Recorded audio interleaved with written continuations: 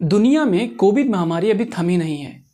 वैक्सीनों का universal access करवाकर corona virus और उसके नए वेरिएंट को रोका जा सकता है। अमीर देशों में अधिकांश लोगों को कोविड वैक्सीन लग चुकी है, लेकिन दुनिया के बहुत बड़े हिस्से में रहने वाली गरीब आबादी का टीकाकरण का काम अभी तक पूरा नहीं हुआ है। पश्चिमी देशों में यूज़ होने वाली वैक्सीनों की कीमत बहुत ज़्यादा है। उनका स्टोरेज और ट्रांसपोर्टेशन की दिक्कत की वजह से गरीब देशों में अब तक ये उपलब्ध नहीं हो पाई है। अमेरिका के एमआईटी और Beth Israel defence medical centre ने एक नई वैक्सीन विकसित करने का अभी दावा किया है, जिसकी लागत कम होगी जो गरीब देशों के लिए बहुत यूज़फुल हो सकती है। जिससे वहाँ पर जो टीकाकरण की समस्या है, वो बहुत ज़्यादा कम हो सकती है।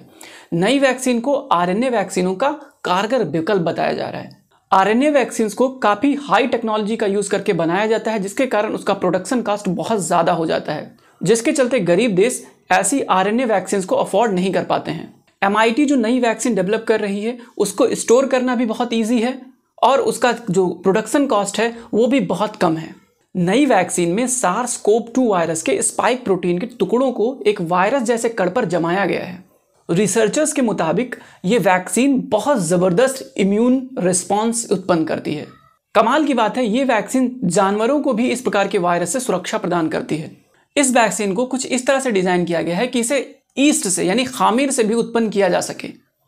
इसके लिए फर्मेंटेशन की सुविधा पूरी दुनिया में पहले से ही अवेलेबल है।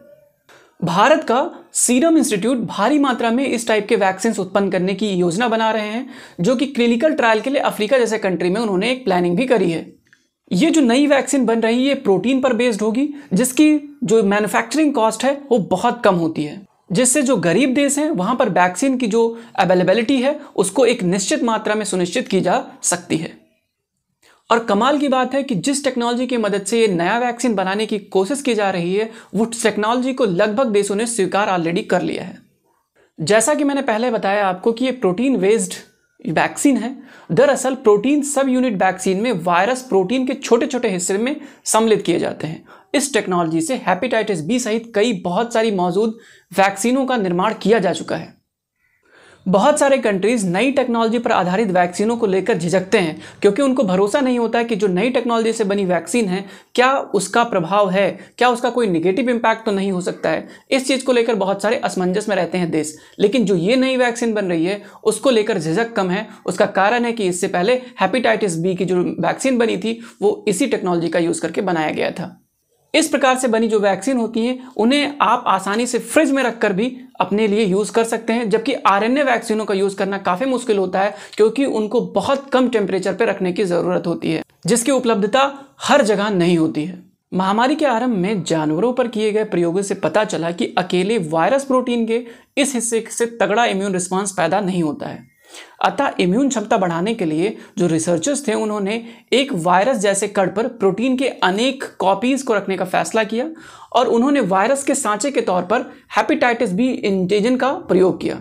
इस कड़ पर प्रोटीन के अकेले टुकड़ों की परत बिछाने से अकेले प्रोटीन की तुलना में ज़्यादा दमदार रिस्पॉन्स उत्पन्न हुआ। और ऐसा भी पॉसिबिलिटी है कि प्रोटीन सब यूनिट से निर्मित वैक्सीनों को आगे चल के मैमल्स की सेल्स से भी बनाया जा सकता है।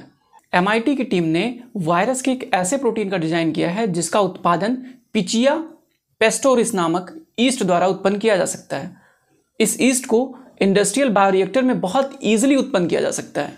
वैक्सीन के दोनों हिस्सों, प्रोटीन के टुकड़े और वायरस के कण को ईस्ट से अलग अलग उगाया जा सकता है। आपको पता होना चाहिए कि वैक्सीन उत्पादन के लिए बायोरिएक्टर्स में पिचिया पेस्टोरिस ईस्ट का उपयोग किया जाता है। इस वैक्सीन का ट्रायल अभी हाल फ़िलहाल में हुआ, जिसके जो रिज़ल्ट थे वो बहुत चौंकाने वाले थे। वैक्सीन के द्वारा जो उत्पन्न एंटीबॉडीज़ का जो स्तर था, वो मान्यता प्राप्त जो ऑलरेडी रिकॉग्नाइज्ड कोविड वैक्सीन है, उनके द्वारा जो एंटीबॉडीज़ उत्पन्न होती हैं, उनके एकदम बराबर था।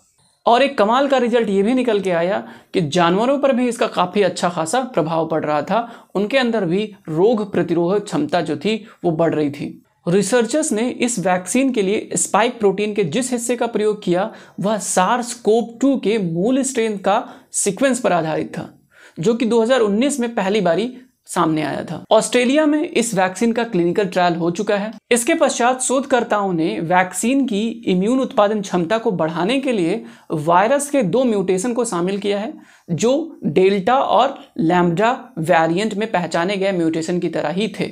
यदि क्लिनिकल ट्रायलों में यह वैक्सीन मौजूदा आरएनए वैक्सीनों की सुरक्षित और प्रभावी विकल्प साबित होती है तो इसका उपयोग करना बहुत ईजी हो जाएगा और बहुत सारे गरीब कंट्रीज़ में भी आसानी से वैक्सीनेशन प्रोसेस स्टार्ट किया जा सकेगा।